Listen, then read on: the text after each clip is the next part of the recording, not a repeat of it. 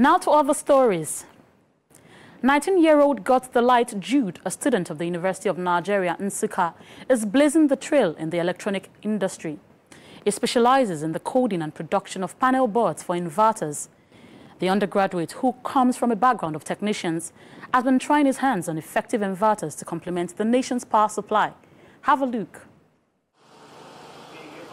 God's Delight Jude is a 200-level electronics engineering student of the University of Nigeria, Nsukka. When he's not in school, he's in Jos learning from his father the practical aspect of his course, designing and producing inverters for sale. God's Delight says he first picked interest in electronics when he was in secondary school.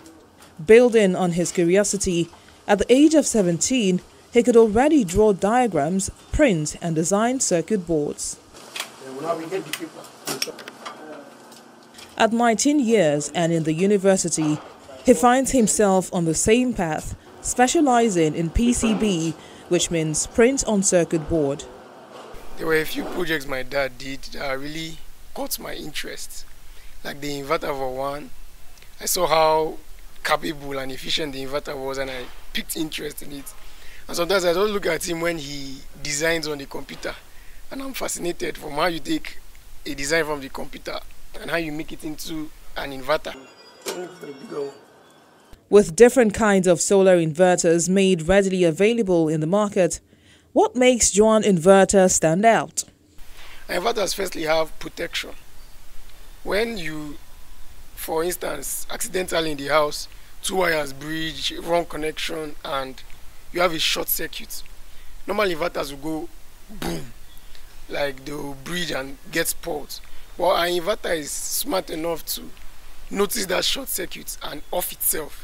With 70% of the materials used in production sourced locally in Nigeria and the remaining 30%, which are more of programmables, imported, God's Delight, like every other innovator, seeks an enabling environment to thrive. We had to improvise with some of our equipment. We designed some of the equipment ourselves.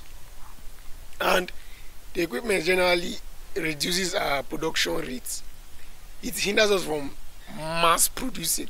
The young techpreneur says his dad has played a major role in the acquisition of his skills by practically engaging him and giving him access to equipment for use. I'm working on an inverter that you can use your phone and study the parameters of the inverter you can use your phone and monitor the inverter. God's Delight says although they currently lack the key equipment needed for mass production, he says he looks forward to making solar energy affordable for every household in Nigeria.